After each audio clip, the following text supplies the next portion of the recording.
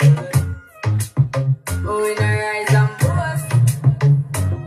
we give thanks like we need the most. We have to